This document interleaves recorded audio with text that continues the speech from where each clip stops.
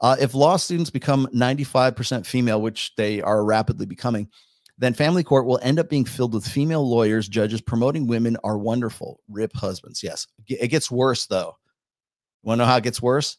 Because the the court ordered mandatory um, marriage counseling will be done by women because, as I said, more women are in psychology and therapy professions and clinical psychologists. So you've got a female judge, you got a female attorney, you got a female marriage therapist that's, you know, we got to go to a counselor, marriage counseling, right?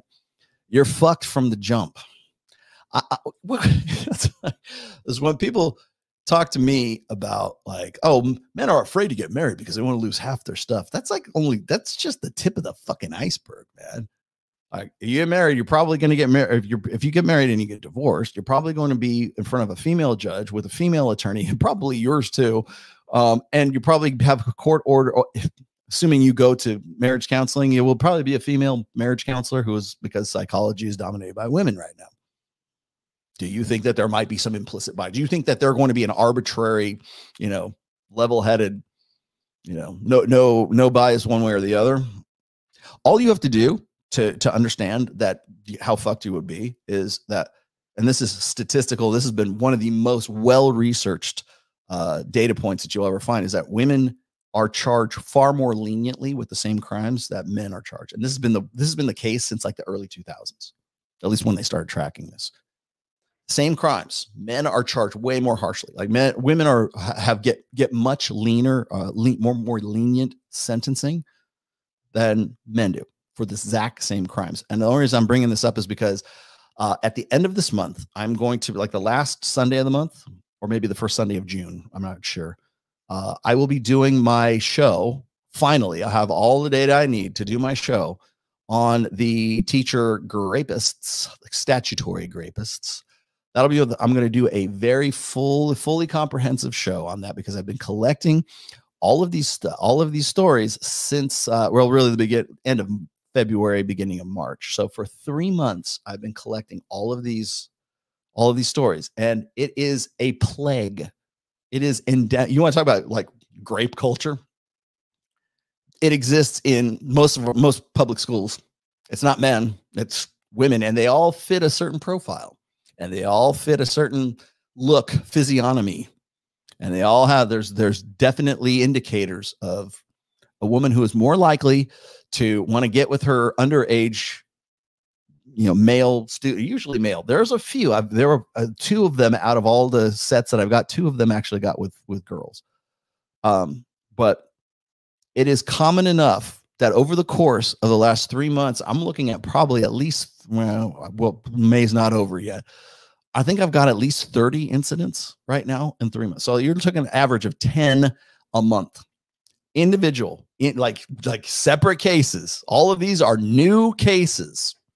I i made i tracked the dates that they were released or that they were arrested or whatever booked. So lady and i i love to get this because people go well it's mostly men who are doing this kind of stuff and uh, i'm like no no it's not.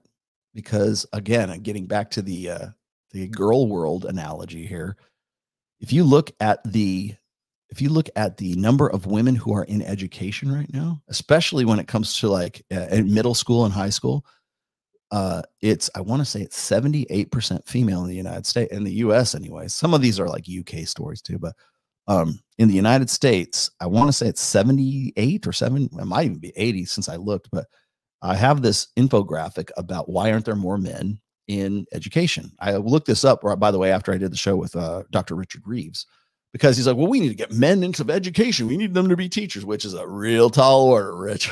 and I thought about this. I found this, and it's like, you know, of course, the reason that they don't want to get into it is because it's a low prestige, low status, low paying, and uh, highly, um, highly risk, risky uh, career to get into.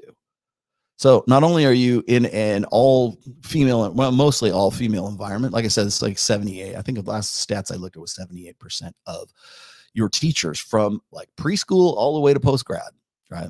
Uh, maybe, maybe graduate school, um, are going to be female unless you have like a math teacher or a coach. you're probably going to have mostly female teachers of everything today because women get into teaching. And you want to know, like, when people start, start talking about, like, well, well, teachers are in, uh, schools are indoctrinating our kids to be like purple haired Lena Dunham feminists. Uh, college is just a feminist indoctrination camp. Like, well, yeah, well, look who the look at the the, the gender skew of teachers, and you will understand why that is. You think it's guys that are doing that? I don't think so. I don't know, maybe there are, but like not to to the it can't be to the degree because there are far more teachers that are female in grammar school, middle school, high school, even at least you know community colleges and and you know regular graduate colleges, right? So statistically speaking, there's going to be more women that are teachers than there are going to be men. So obviously, the skew is going to skew towards women. But we don't. That don't. Nobody makes a big deal about that. In fact, you know what they do? They go, "Well, we're you'll you'll get this response. Every single one of these Twitter th- threads is like, well, where was she when I was 15 and I was a sophomore in high school? I would have loved a girl to fuck me like that. Well, you were probably a fat fuck back then and you're a fat fuck now, and she probably wouldn't have anything to do with you. So that's number one. And number two is that's the completely wrong attitude to have. Because if we're going to talk about an equal standard of justice, there is not, there is a separate standard of justice for women and men men send an inappropriate text, they lose everything. You spent the last 10 years becoming a teacher, you want to, and you had to learn you had to learn how you know whatever your subject is. Then you have to learn you got to get your teaching credentials and you have to learn how how to teach you have to learn all this shit you have to protect yourself you have to make sure that you know you and then how much are you spending on let's just say for sake of argument you're spending money on student loans and everything. You have a, a, an investment for a very low paying job to, at least to start with and a high pop probability that if you get a any kind of reprimand for sending even like looking the wrong way at a girl she you don't have to do that. They can just ruin your life if they want to because they say oh mr mr Tomassi was looking at me made me feel uncomfortable. Bye and you never get a job again. In the last i don't know eight years that you spent to get all those credentials and get that master's degree in teaching us economics or whatever the fuck it is bye go be a fucking barista, go be a podcaster.